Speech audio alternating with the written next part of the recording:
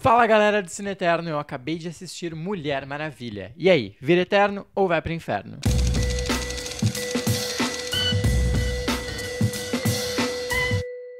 Sim, vou ser simples e direto. Vocês devem estar muito ansiosos e ansiosos em saber se Mulher Maravilha é bom ou não é. E eu digo que sim, Mulher Maravilha está vivíssima, como gostam de dizer muito pela internet. E sim, o filme é muito bom. Tem problemas? Tem problemas. Não é o melhor filme do ano, não é melhor que os Batman do Nolan, não é nada disso, mas é o filme da Mulher Maravilha que todo mundo precisava assistir. Ele se encaixa dentro de um universo, ele é um filme de origem, ele conserta problemas de outros filmes, ele é um filme importante e bom acho que era o que todo mundo esperava. Então, deu uma tranquilizada, vamos falar um pouco mais sobre o filme. Antes de mais nada, tem que ter em mente que Mulher Maravilha, ele é um filme de origem. Então, por mais que ele faça menções ao universo DC, ele é um filme deslocado. Ele é um filme de origem. Então ele tem um início, um meio e um fim. Não vai ter um monte de ponta solta, não tem cena pós-crédito. Então ele é um filme que funciona muito bem sozinho. E aí que eu acho muito importante trazer uma diretora como a Patty Jenkins, que é uma diretora que sabe muito bem lidar com personagens femininos, com personagens que sustentem, que sejam fortes e que representem muito bem a figura da mulher e que tragam toda essa representatividade que o universo cinematográfico como um todo precisa. Além disso, o roteiro ele é bem estruturado. Ele tem o que eu já disse, ele tem o início, meio e fim. Ele desenvolve muito bem a personagem na infância. Ele traz uma coisa que eu gosto muito, que é humanizar o personagem. Por mais que ela seja uma super-heroína, por mais que ela seja uma deusa, isso não faz com que ela seja menos humana que os outros. Então eu gosto quando tu puxa essa questão da humanidade e faz ela figura central da narrativa. Gosto também dos coadjuvantes. Gosto da forma como os coadjuvantes são introduzidos. Gosto da forma como eles tomam tempo de tela. Personagem personagem do Chris Pine, ele funciona. Eu tava com medo que ele fosse roubar muito a cena, por ser o Chris Pine, por ser bonito, por ser isso, por aquilo. Não, ele funciona no coadjuvante dele, ele funciona a personagem, entendeu? Ele, ele é o que dá inspiração pra personagem muitas vezes e ajuda quando ela precisa. Isso é coadjuvante. Além disso, as cenas de batalha tão espetaculares. A Patty Jenkins, ela consegue movimentar bem a câmera, ela usa bastante câmera lenta, então para algumas pessoas isso pode incomodar, mas para mim funcionou muito bem para personagem, porque parece que ela tá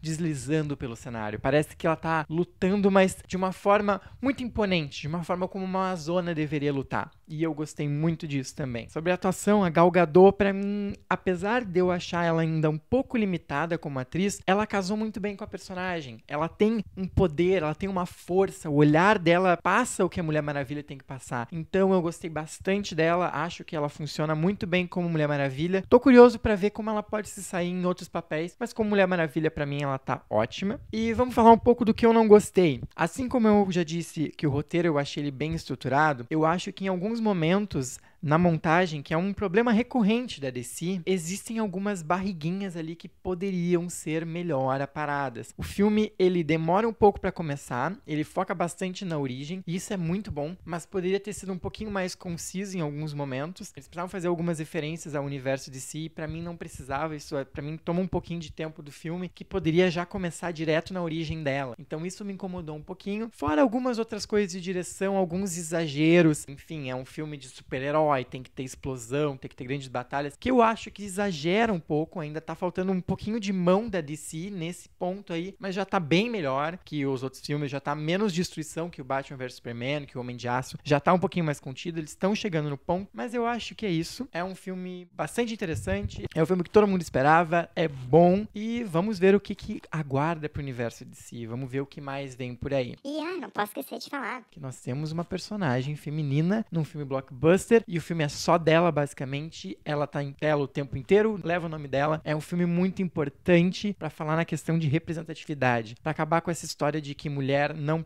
dá dinheiro, para que mulher não consegue ter filme solo blockbuster e melhor ainda, não pode ser uma super-heroína. Então, Mulher Maravilha tá aí para quebrar vários paradigmas. Para alguns vão achar que ela vai salvar a DC, pode ser, e outros vão achar que ela é um fenômeno de representatividade muito importante nesse momento que a gente tá, né?